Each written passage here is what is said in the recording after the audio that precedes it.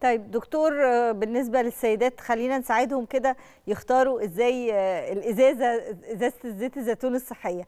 هنختارها بلاستيك ولا إزاز؟ هنختارها فاتحة ولا غامقة؟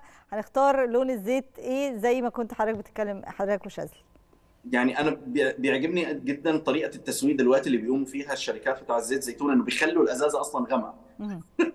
فأنت تيجي تشتري تشوفي آه غامقة خلاص آخذها. تتفاجئي جوه المنتج اللي جوه. لا مش غامق فضروري جدا إنك أنت تعرفي مصدر شرائه منين وما يكونش معالج حراريا ولا كيميائيا. معصور على البارد؟ حاجة. معصور على البارد. نعم بالظبط طيب دكتور هل حضرتك قلت إن هو ممكن يدخل في أي حاجة بالنسبة للأكل؟ يعني زيت الزيتون ممكن يدخل في, في أي نوع من أنواع الأكل ويدخل كمان ويتسخن درجة حرارة 200 مفيش مشكلة. لكن هل في نوع مثلا معين من الأكلات لو دخل زيت الزيتون ممكن تقلل شوية من من من زيت الزيتون نفسه تقلل شوية من قدرة الجسم على امتصاصه.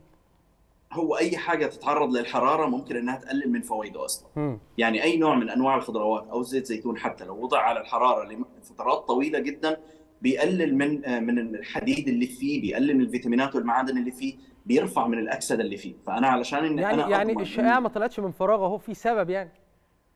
ما هو أنا لدرجة حرارة 200 إذا رفعته أكثر من 200 هنا أنا أتعرض لمشاكل. بتقل فوائده طبعا.